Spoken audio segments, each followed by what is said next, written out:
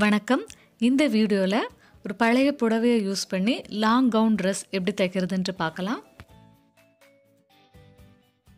நான் இந்த மாதிரி ஒரு புடவை எடுத்திருக்கிறேன். இந்த புடவையோட பார்டர் வந்து சின்னதாக இருக்குது இதை நம்ம ரெண்டாக வச்சு தைச்சா கூட அந்த அளவுக்கு அகலம் வராது. ஆனால் நம்ம தைக்க போகிற ட்ரெஸ்ஸில் வந்து பார்டர் அகலமாக இருந்தால் தான் அந்த ட்ரெஸ் வந்து ரொம்ப நல்லா தெரியும்.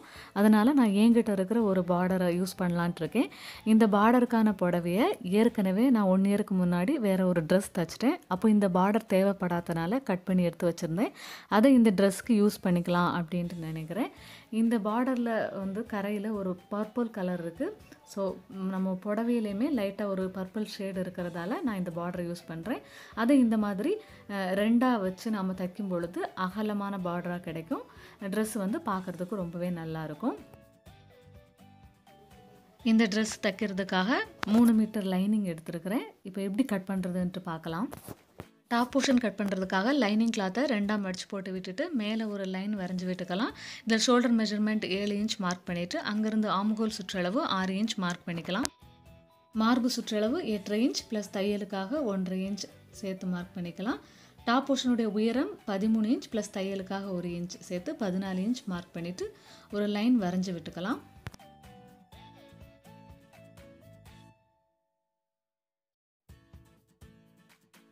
இந்த லைனில் இடுப்பு சுற்றளவு ஏழரை இன்ச் ப்ளஸ் தையலுக்காக ஒன்றரை இன்ச் மார்க் பண்ணிவிட்டு நம்ம மார்க் பண்ண அளவுகளையெல்லாம் ஸ்கெயிலால் லைன் போட்டு வரைஞ்சி விட்டுக்கலாம். இப்போ டாப் போர்ஷனுடைய பேக் சைடு தான் இந்த மாதிரி மார்க் பண்ணி கட் பண்ணி எடுக்க போகிறோம் இதை யூஸ் பண்ணி தான் ஃப்ரண்ட் சைடு கட் பண்ணணும்.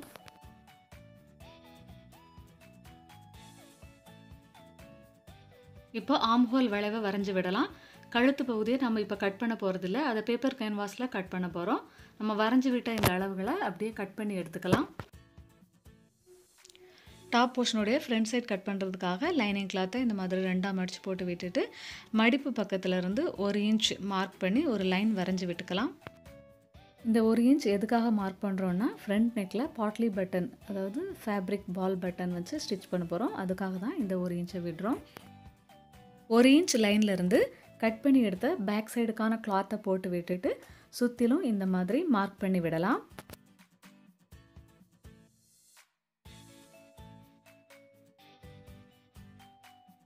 மார்க் பண்ணது மேலே அப்படியே கட் பண்ணி எடுத்துக்கலாம்.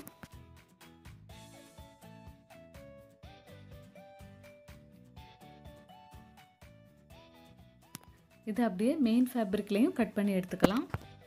நெக் போர்ஷன் கட் பண்ணுறதுக்காக இந்த மாதிரி ரெண்டாக மடித்த கேன்வாஸ் பேப்பரை கழுத்துடைய அகலம் நீளத்துக்கு ஏற்ற மாதிரி front neck and back neck cut பண்ணுறதுக்காக ரெண்டு பீஸ் இந்த மாதிரி எடுத்து வச்சுருக்கிறேன்.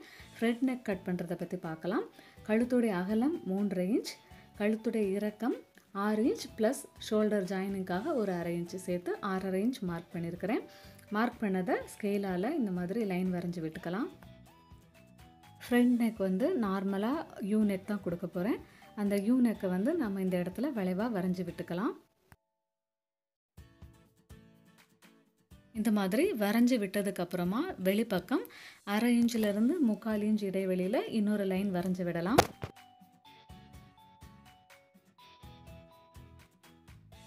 மேல் பக்கம் அரை இன்ச் இடைவெளியில் ஒரு லைன் வரைஞ்சி விடலாம். இது கழுத்துடைய அகலம் வந்து மாறாமல் இருக்கிறதுக்காக இதை இப்படியே கட் பண்ணி எடுத்துக்கலாம்.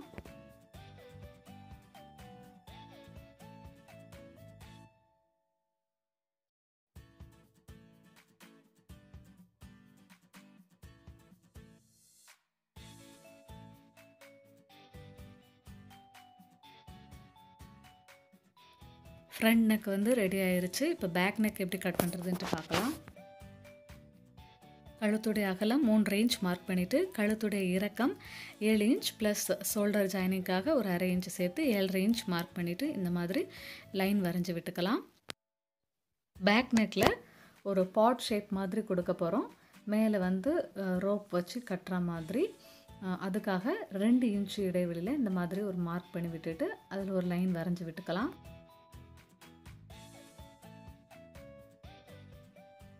பின்கழுத்துடைய ஷேப்பை வரைஞ்சி விடலாம்.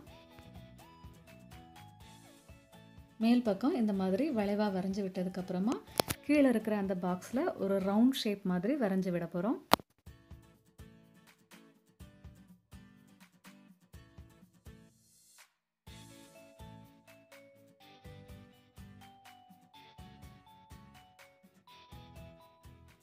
வரைஞ்சதுக்கப்புறமா வெளிப்பக்கத்தில் அரை இன்ச்சிலிருந்து முக்கால் இன்ச்சு இடைவெளியில் இன்னொரு லைன் வரைஞ்சி விட்டுக்கலாம்.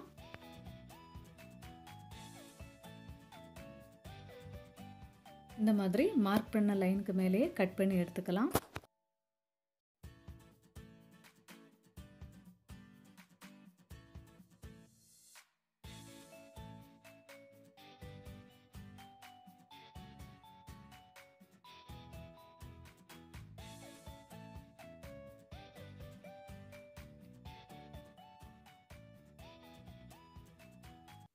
இந்த மாதிரி கட் பண்ணதுக்கப்புறமா இதை ஓப்பன் பண்ணி விட்டுட்டு சென்டரில் ஜாயிண்ட்டாக இருக்கிறத இந்த மாதிரி கட் பண்ணி எடுத்துக்கலாம். நம்ம கட் பண்ணி எடுத்த இந்த பேப்பர் கேன்வாஸை லைனிங் கிளாத்தில் வச்சு அயன் பண்ணி எடுத்துக்கலாம். அடுத்து ஸ்லீவ் கட் பண்ணுறதை பார்க்கலாம். ஸ்லீவ் கட் பண்ணுறதுக்காக லைனிங் கிளாத்தை இந்த மாதிரி ரெண்டாக மடித்து போட்டு விட்டுட்டு அதை மறுபடியும் இந்த மாதிரி நாலாக மடித்து போட்டுட்டு கீழே ஒரு லைன் வரைஞ்சி விட்டுருக்குறேன். இதிலிருந்து கையுடைய நீளம் பத்தரை இன்ச் ப்ளஸ் தையலுக்காக ஒரு இன்ச் சேர்த்து பதினொன்றரை இன்ச் மார்க் பண்ணி மேலே ஒரு லைன் வரைஞ்சி விட்டுக்கலாம்.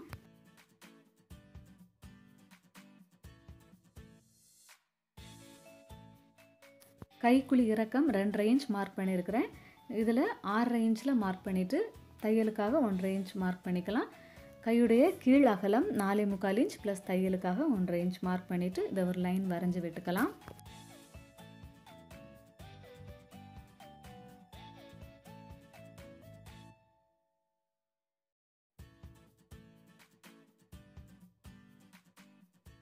மேல் பக்கத்தில் இந்த மாதிரி ஸ்லீவை வளைவாக வரைஞ்சி விட்டுக்கலாம்.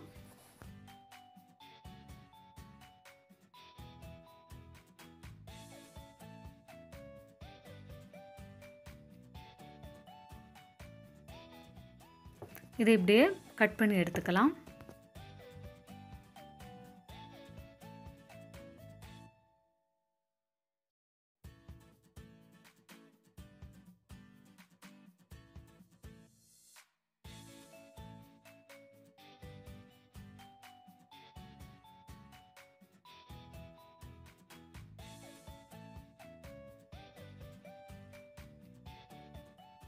ஸ்லீவோட ஃப்ரண்ட் சைடில் இந்த மாதிரி அரை இன்ச்சில் கொஞ்சமாக துணியை கட் பண்ணி எடுத்துக்கலாம். இந்த இடத்துல ஒரு நாச் போட்டு விடலாம் ஃப்ரண்ட் சைடை மார்க் பண்ணுறதுக்காக இதை இப்படியே மெயின் ஃபேப்ரிக்லேயும் கட் பண்ணி எடுக்கலாம். பாட்டம் போர்ஷன் கட் பண்ணுறதுக்காக புடவையுடைய ரெண்டு பக்கத்தில் இருந்த பார்டரை கட் பண்ணி எடுத்துருக்கிறேன். ட்ரெஸ்ஸுடைய மொத்த நீளம் ஐம்பத்தி ஒன்று இன்ச் அதில் டாப் போர்ஷனுடைய உயரம் பதிமூணு இன்ச்சு மைனஸ் பண்ணுனா முப்பத்தி எட்டு இன்ச் வரும். இதோட தையலுக்காக ஒரு இன்ச் சேர்த்து முப்பத்தி ஒம்பது இன்ச் நீளத்தில் எடுத்துருக்கிறேன். அகலம் வந்து உங்களுக்கு எவ்வளோ ஃப்ளீட்ஸ் வேணுமோ அதை பொறுத்து நீங்கள் எடுத்துக்கலாம். இந்த மாதிரி ரெண்டு கிளாத் எடுத்து வச்சுருக்கிறேன் ஃப்ரண்ட் அண்ட் பேக் சைடுக்காக இதே மாதிரி லைனிங் கிளாத்தையும் நம்ம எடுத்துருக்கிற மெயின் கிளாத்லேருந்து ஒரு ரெண்டுலேருந்து மூணு இன்ச்சு நீளம் கம்மியாக எடுத்துக்கலாம். அகலம் வந்து உங்களுக்கு எவ்வளோ தேவையோ அந்தளவுக்கு எடுத்துக்கலாம். இப்போ இதை எப்படி ஸ்டிச் பண்ணுறதுன்ட்டு பார்க்கலாம். டாப் போர்ஷனுடைய ஃப்ரண்ட் சைடுக்கான லைனிங் கிளாத்தையும் மெயின் ஃபேப்ரிக்கையும் சேர்த்து சுற்றிலும் ஒரு தையல் போட்டு விட்டுட்டு எக்ஸ்ட்ரா இருக்கிற கிளாத்தை கட் பண்ணி ரிமூவ் பண்ணிக்கலாம். மடிப்பு பக்கத்தில் ஒரு இன்ச் எக்ஸ்ட்ரா மார்க் பண்ண இடத்த நாச் போட்டு விட்டுருக்குறோம். மேல் பக்கத்துலேயும் கீழ் பக்கத்துலேயும் இந்த ரெண்டு நாச்சுமே மீட் ஆகிற மாதிரி இந்த மாதிரி மடித்து விட்டுட்டு க்ளீனாக அயன் பண்ணி எடுத்துக்கலாம். இந்த மாதிரி அயன் பண்ணி விட்டுட்டு அந்த ஃபேப்ரிக் பட்டன்ஸை தைக்கும் பொழுது ஈஸியாக இருக்கும். கழுத்துடைய இறக்கம் ஆறரை இன்ச் மார்க் பண்ணி கட் பண்ணியிருக்கிறோம் பேப்பர் கேன்வாஸில் இதில் ஏழு இன்ச் மார்க் பண்ணிவிட்டு இந்த இடத்துல இருந்து ஃபேப்ரிக் பட்டன்ஸை அரை அரை இன்ச் இடைவெளியில் தச்சு விடலாம்.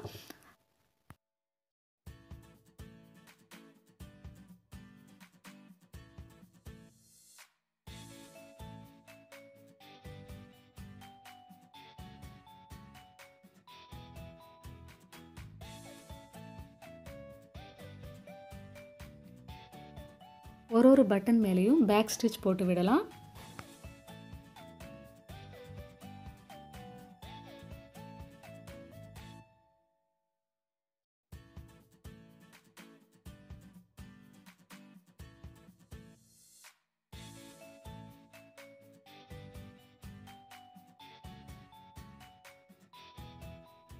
இந்த மாதிரி பட்டனை ஃபுல்லாக தச்சு விட்டுட்டோம். இப்போ கால் இன்ச் இடைவெளியில் இன்னொரு தையல் போட்டு விடலாம்.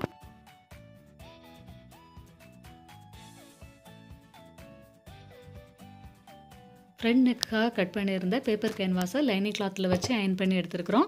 இதோட வெளிப்பக்கத்தில் இருக்கிற இந்த லைனிங் கிளாத்தை இந்த மாதிரி கேன்வாஸ் பேப்பர் மேலே மடித்து விட்டுட்டு ஓரத்தில் ஒரு தையல் போட்டு விடலாம். இந்த மாதிரி ரெண்டு சென்டர் நாச்சும் மேட்ச் ஆகிற மாதிரி வச்சுட்டு சென்டரில் ஒரு தையல் போட்டு விடலாம். கீழ்ப்பக்கத்தில் பேப்பர் கேன்வாஸுக்கும் கொஞ்சம் முன்னாடியே இந்த தையலை நிறுத்திக்கலாம். இந்த தையல் எதுக்காக போடுறோம் அப்படின்னா இந்த பேப்பர் கேன்வாஸ் வந்து மூவ் ஆகாமல் இருக்கிறதுக்காக. அடுத்து பேப்பர் கேன்வாஸுடைய ஓரத்துலேயே இந்த மாதிரி தையல் போட்டு விடலாம்.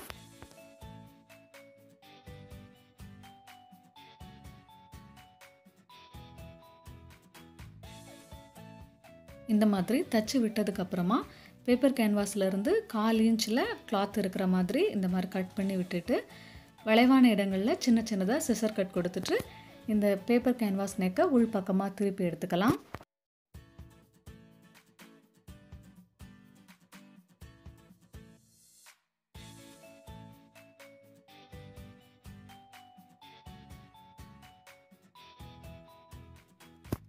உள்பக்கமாக திருப்பி விட்டதுக்கப்புறமா ஓரத்துலேயே பதிஞ்சா மாதிரி ஒரு தையல் போட்டு விடலாம்.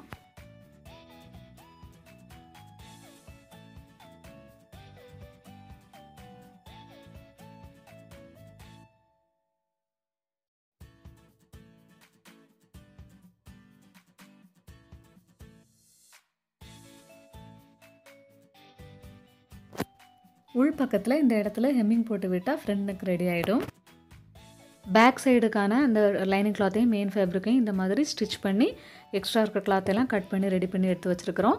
இந்த நெக் போர்ஷனையுமே நம்ம சுற்றிலும் லைனிங் கிளாத்தை ஸ்டிச் போட்டு எடுத்துகிட்டு இந்த ரெண்டு சென்டர் நாச்சும் மீட் ஆகிற மாதிரி வச்சுட்டு இந்த மாதிரி தையல் போட்டு விட்டுக்கலாம்.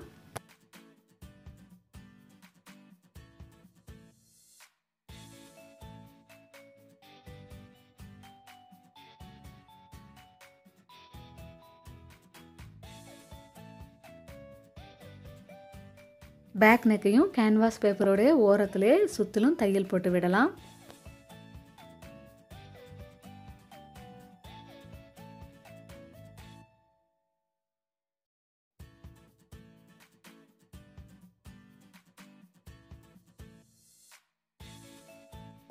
இந்த மாதிரி கேன்வாஸ் பேப்பர்லேருந்து வெளிப்பக்கம் கால் இன்ச் கிளாத் இருக்கிற மாதிரி விட்டுட்டு எக்ஸ்ட்ரா இருக்கிற கிளாத்தை இந்த மாதிரி கட் பண்ணி எடுத்துக்கலாம். உள் பக்கத்தில் இருக்கிற இந்த ரவுண்ட் ஷேப்பையுமே இந்த மாதிரி கால் இன்ச் கிளாத் இருக்கிற மாதிரி விட்டுட்டு கட் பண்ணி எடுத்துக்கலாம். வளைவான இடங்களில் சின்ன சின்னதாக சிசர் கட் கொடுத்துக்கலாம்.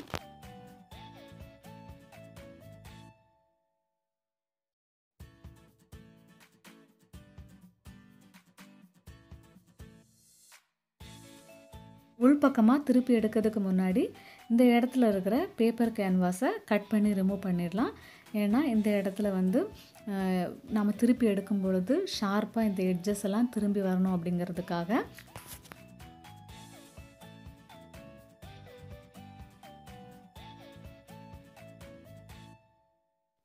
அந்த இடத்துல இருக்கிற எக்ஸ்ட்ரா கிளாத்தையுமே கொஞ்சமாக கட் பண்ணி விடலாம்.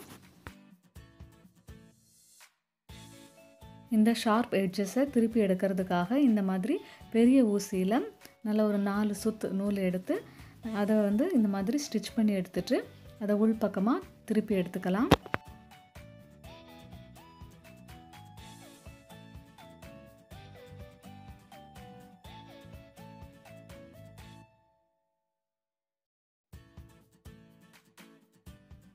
இந்த மாதிரி திருப்பி எடுத்ததுக்கப்புறமா கழுத்துடைய ஓரத்துலேயே பதிஞ்சா மாதிரி ஒரு தையல் போட்டு விடலாம்.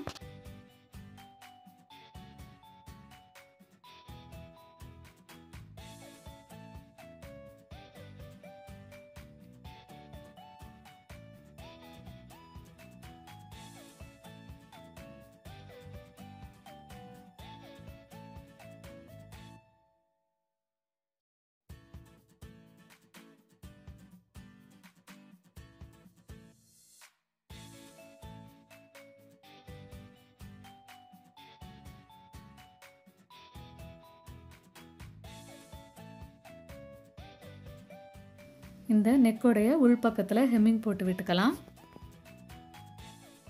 இந்த மாதிரி பின்னால் கட்டுறதுக்கான ரோப்பை ஸ்டிச் பண்ணி ரெடி பண்ணியிருக்கிறேன். அதை இந்த இடத்துல வச்சு ஜாயின் பண்ணி விடலாம்.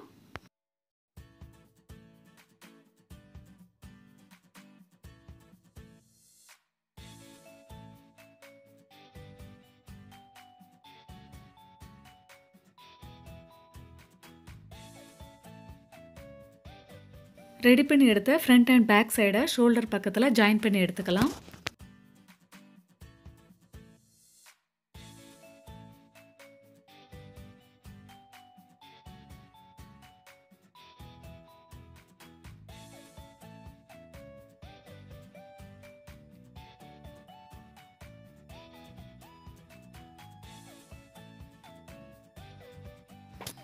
ஸ்லீவை ஸ்டிச் பண்ணுறதுக்காக மெயின் ஃபேப்ரிக்குடைய நல்ல பக்கத்துக்கு மேலே லைனிங் கிளாத்தை வச்சுட்டு கீழ் பக்கத்தில் அரை இன்ச் இடைவெளியில் ஒரு தையல் போட்டு விடலாம். இந்த மாதிரி திருப்பி விட்டுட்டு லைனிங் கிளாத் மேலே பதிஞ்சா மாதிரி ஒரு தையல் போட்டு விட்டுக்கலாம்.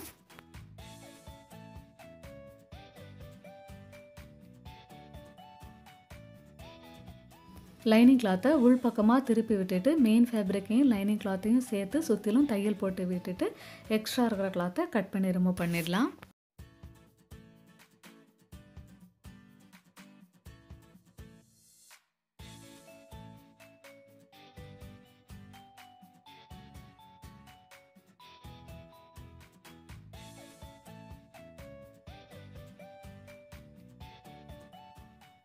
ஸ்லீவுடைய கீழ்ப்பக்கத்தில் பார்டர் அட்டாச் பண்ணுறதுக்காக இந்த பார்டரை இந்த மாதிரி வச்சுட்டு கீழ்ப்பக்கத்தில் ஒரு தையல் போட்டு விடலாம்.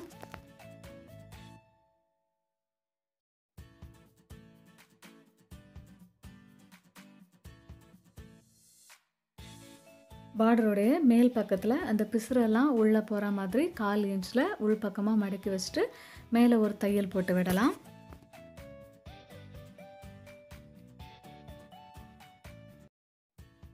ஸ்லீவை திருப்பி எடுத்துட்டு எக்ஸ்ட்ரா இருக்கிற பார்டரை கட் பண்ணி எடுத்தால் நம்மளுடைய ஸ்லீவ் வந்து ரெடி ஆகிடும் இதே மாதிரி இன்னொரு ஸ்லீவையும் ஸ்டிச் பண்ணி ரெடி பண்ணிக்கலாம்.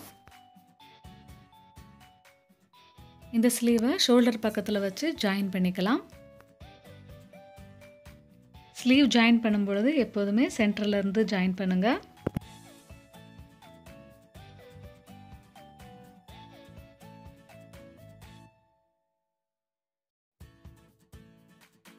ரெண்டு பக்கத்துலேயும் ஸ்லீவை இந்த மாதிரி ஜாயின் பண்ணி எடுத்துக்கலாம்.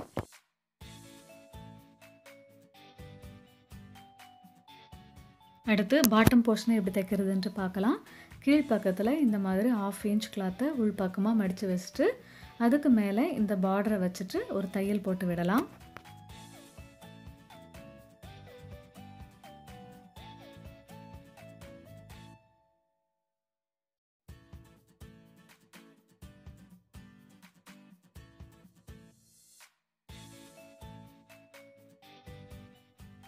மாதிரி கீழ்ப்பக்கத்தில் மட்டும் தையல் போட்டு எடுத்துக்கலாம். இன்னொரு லேயர் பார்டர் ஸ்டிச் பண்ணுறதுக்காக அந்த பார்டருடைய கீழ்ப்பக்கத்தில் கால் இன்ச் ஒரு மடிப்பு மடிச்சுட்டு ஏற்கனவே தைச்சி விட்டுருக்கிற அந்த பார்டருடைய மேல் பக்கத்தில் வச்சுட்டு ஒரு தையல் போட்டு விடலாம். இந்த மாதிரி ரெண்டு பார்டரையும் சேர்த்து ஸ்டிச் பண்ணும் பொழுது அந்த ரெண்டு பார்டர்லேயும் எண்டிங்கில் இருக்கக்கூடிய அந்த டிசைன் வந்து மீட் ஆகிற மாதிரி ஸ்டிச் பண்ணுங்கள் நான் எடுத்துருக்கிற பார்டரில் ரெண்டு பக்கத்துலேயும் ஃப்ளவர் வந்து ஆப்போசிட் சைடில் மீட் ஆகிற மாதிரி வச்சு ஸ்டிச் பண்ணுறேன்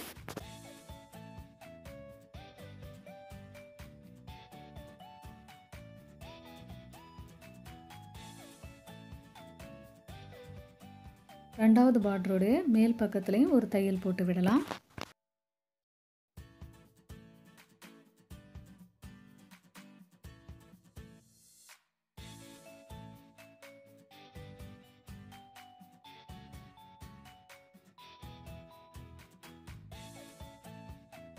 இந்த மாதிரி இன்னொரு பக்கத்துக்கான கிளாத்தையும் பார்டர் அட்டாச் பண்ணி ரெடி பண்ணிக்கலாம். இந்த துணியுடைய மேல் பக்கத்தில் ஃப்ளீட் கொடுத்து தைக்க போகிறோம் குழந்தைங்களுக்கான பட்டு பாவாடைக்கு எப்படி ஃப்ளீட் கொடுத்து தைப்போமோ அதே மாதிரி ஃப்ளீட் கொடுத்து தைச்சிக்கலாம்.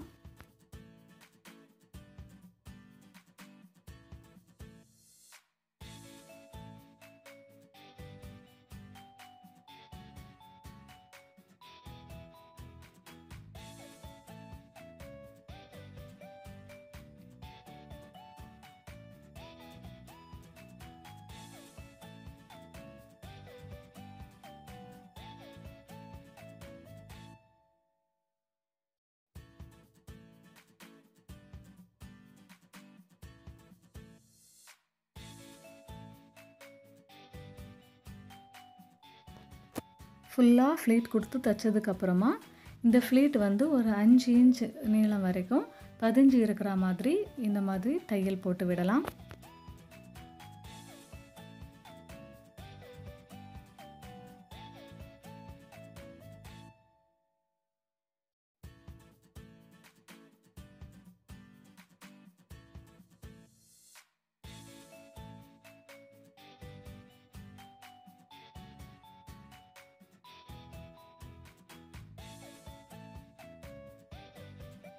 இந்த மாதிரி எல்லா ஃப்ளீட்லேயும் அஞ்சு இன்ச் வரைக்கும் பதிஞ்சா மாதிரி தையல் போட்டு எடுத்துக்கலாம். இந்த மாதிரி இன்னொரு பக்கத்துக்கான கிளாத்தையும் தச்சு ரெடி பண்ணிக்கலாம்.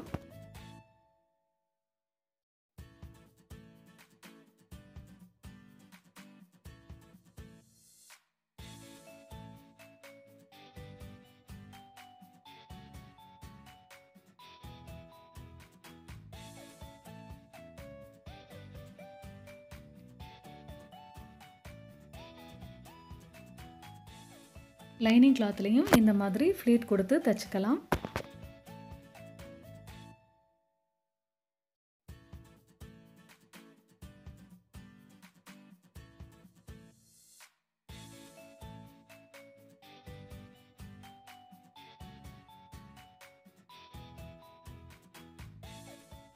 தச்சு ரெடி பண்ணினா இந்த லைனிங் கிளாத்தையும் மெயின் ஃபேப்ரிக்கையும் சேர்த்து ஒரு தையல் போட்டு விடலாம்.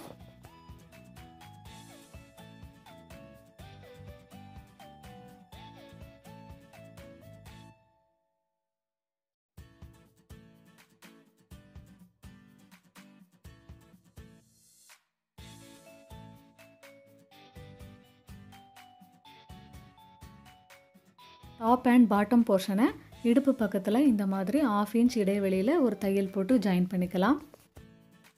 ரெண்டு கிளாத்தையும் இடுப்பு பக்கத்தில் ஜாயின் பண்ணி எடுத்ததுக்கப்புறமா சைடை ஜாயின் பண்ணுறதுக்காக நம்ம ஒன்றரை இன்ச் விட்டுருக்குறோம். அந்த ஒன்றரை இன்ச் மார்க் பண்ணிவிட்டு இந்த மாதிரி லைன் வரைஞ்சி விட்டுருக்குறேன். இந்த லைன் மேலேயே சைடில் ஜாயின் போட்டு எடுத்துக்கலாம்.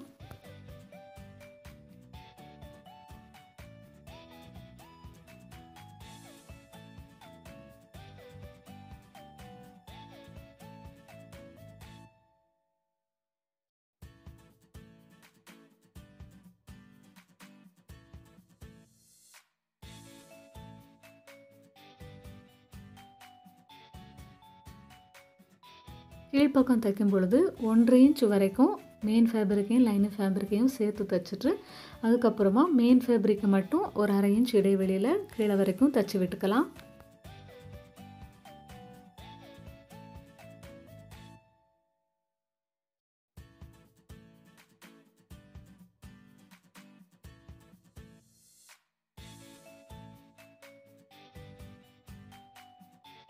இந்த மாதிரி மெயின் ஃபேப்ரிக்கை தைச்சதுக்கப்புறமா லைனிங் ஃபேப்ரிக்கை அரை இன்ச் இடைவெளியில் தையல் போட்டு எடுத்துக்கலாம். இந்த மாதிரி இன்னொரு பக்கத்தையும் சைடில் ஜாயின் போட்டு எடுத்துக்கலாம்.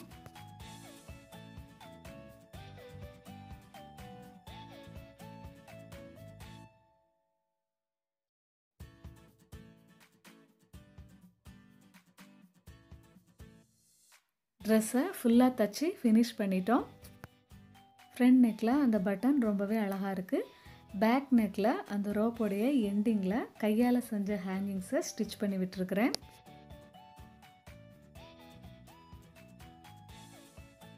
நீங்களும் உங்களுடைய பழைய பட்டு புடவையில் இந்த மாதிரி ஒரு ட்ரெஸ்ஸை ஸ்டிச் பண்ணி போடுங்க ரொம்பவே அழகாக இருக்கும். இந்த வீடியோ பிடிச்சிருந்துச்சுன்னா லைக் பண்ணுங்கள் ஷேர் பண்ணுங்கள் மறக்காமல் இந்த சேனலை சப்ஸ்கிரைப் பண்ணுங்கள் தேங்க்யூ